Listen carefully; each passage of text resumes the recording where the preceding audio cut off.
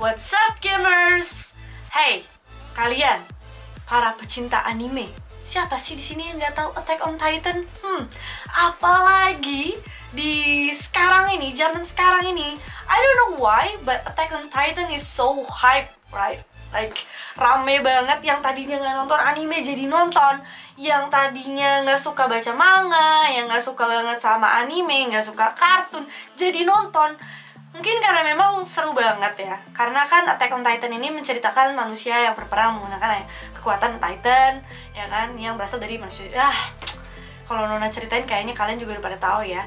Nah, kali ini tim Dunia Games dan Nona Berlian mau bahas Titan-Titan apa aja sih yang ada di Attack on Titan. Tentunya banyak banget, tapi yang kita bahas ini adalah 9 Titan spesial yang dijuluki Titan Shifter. Nah, apa aja? Let's find out! Yang pertama yaitu Card Titan. Seperti namanya yang kita tahu, Card bukan card tapi card pakai T. Ini adalah Titan yang digunakan untuk mobilitas perang-perang atau ya intinya dipergunakan untuk akomodasi ya bawa barang segala macam. Nah kayak gitu. Ya memang dia tidak memiliki kemampuan tempur yang gimana-gimana makanya dipergunakan sebagai bisa dibilang transportasi gitu ya. Tapi bukan buat orang ya. Intinya itulah ya. Nah walaupun dia dipergunakan bukan buat perang tapi tetap aja ukurannya bentuknya Titan. Yang kedua yaitu female Titan. Seperti Titan shifter lainnya dia juga punya kemampuan untuk mengendalikan Titan biasa.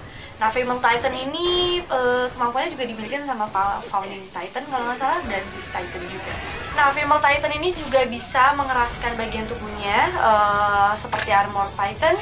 Nah, si Annie Leonhardt sebagai pemilik dari Fable uh, nggak tuh female Titan ini kata katanya itu bisa memaksimalkan kemampuan female Titan yang dia punya karena tipenya itu sama kayak si tipe pengguna. Selanjutnya ada Beast Titan. Nah, Titan biasanya bentuknya manusia ya kan. Nah, cuman Beast Titan ini aja yang menyerupai bentuk hewan. Dan Beast Titan yang dimiliki oleh Zik atau Ziki, I don't know. Zik ya. Ini uh, bentuknya kayak monkey dan dia juga punya kemampuan yang mirip dengan founder Titan karena si pemilik Beast Titan ini adalah seorang bangsawan. Contoh kemampuan yang dia milikin itu seperti ya ngontrol Titan biasa dan ngubah bangsa dia jadi Titan dengan cara neriakin mereka. Selanjutnya ada Joe Titan. Joe, Joe, hmm, sesuai namanya, Titan ini hmm, mempunyai jauh atau dagu yang sangat kuat dan juga kuku yang sangat kuat dan dia adalah Titan shifter tercepat dibandingkan 9 enggak 9 sih di antara 9 di antara Titan shifter lainnya. Untuk saat ini Joe Titan dimiliki oleh Falco Gris ya. Cuman si Falco Gris aja yang punya. Tapi untuk saat ini ya. Selanjutnya ada Armor Titan. Seperti namanya lagi, Armor Titan adalah Titan yang uh, mengeraskan bagian tubuh dan kulitnya jadi beneran bakal bukan bakal ya memang keras sekali gitu seperti menggunakan baju zirah ya si armor titan ini. Jadi dia uh, intinya mah susah pisan kalau cuman mau ditusuk pakai jarum pentul mah kagak bisa. Nah untuk si armor titan ini yang baru diketahui itu yang punya si Rainer Brown dia adalah satu-satunya orang yang diketahui punya armor titan Selanjutnya ada Attack Titan. Attack Titan ini punya kemampuan unik. Dia adalah satu-satunya Titan yang bisa melihat uh, memori dari pemilik dia di masa lalu dan pemilik dia di masa depan. Which is dia bakal tahu siapa yang menjadi memiliki dia nantinya gitu. Nah untuk saat ini Attack Titan dimiliki oleh Eren Yeager.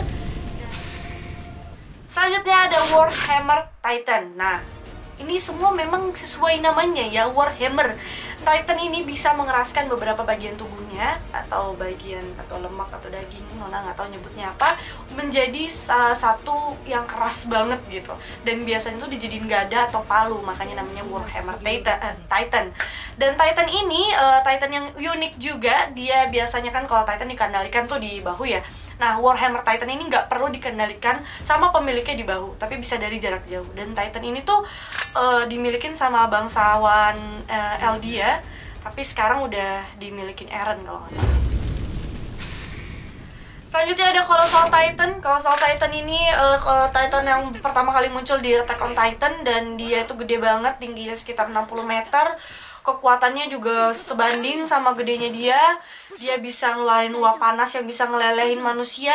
Terus dia yang bikin porak-poranda di paradis sampai memberikan kenangan-kenangan menyakitkan buat para peran utama atau para peran karakter-karakter di Attack on Titan. Wah, coba baca. Hai ya. Pokoknya Colossal Titan ini kuat banget dan sekarang dimilikin oleh Armin. The last but not least itu Founding Titan. Ini adalah the strongest Titan dari semua Titan Shifter. Karena dia punya semua kemampuan yang dimiliki oleh Titan-Titan di bawahnya dia. Jadi uh, bisa dibilang sembilan atau Titan Shifter lainnya itu tuh kayak punya satu kemampuan dari Founding Titan doang. Ini ini kalau dia tuh udah pakai lengkap semuanya dia. Dia bisa mengubah bangsa Eldia jadi Titan. Dia bisa controlling bangsa Eldia. Dia bisa wah pokoknya banyak banget macam-macam. Makanya namanya dia Founding Titan ya karena kekuatan Titan-Titan lainnya berasal dari dia. So that's all uh, nine Titan shifter yang ada di Attack on Titan itu dia informasi yang tim Dunia Games mau kasih kalian di segmen Dunia Games Nganime. Semoga bermanfaat dan kalau kalian pengen baca info-info yang kayak gitu yang sama-sama atau yang terupdate terkini seputar film Dunia Games dan lain-lainnya Bisa lihat di website duniagames.co.id atau nonton YouTube channel Dunia Games tentunya. Jangan lupa subscribe, kita ketemu lagi di video-video selanjutnya ya. Dadah!